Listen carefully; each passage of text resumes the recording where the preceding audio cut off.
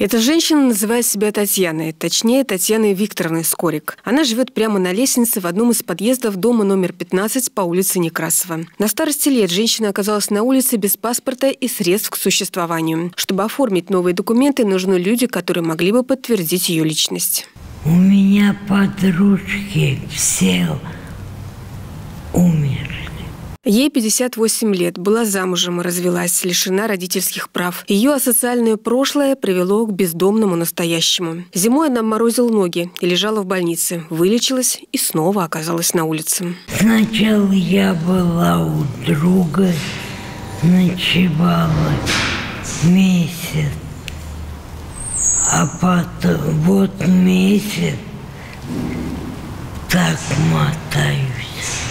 Кто и как должен помогать таким людям? За разъяснением мы обратились в Управление социальной защиты нашего города. По телефону нам пояснили, что о проблемах Татьяны Скорик они знают и занимаются их решением. Как только женщина получит новый паспорт, ее направят в интернат или специализированную медицинскую организацию области. Но до этого времени ей придется жить на улице либо мотаться из подъезда в подъезд, так как в Сарове нет учреждений с возможностью круглосуточного пребывания людей, попавших в трудную жизненную ситуацию. Полиция тоже не может помочь. Находиться в чужом чужом подъезде не запрещено. По закону, даже если сотрудник составит протокол об административном нарушении, максимум, что может получить человек, до 15 суток ареста.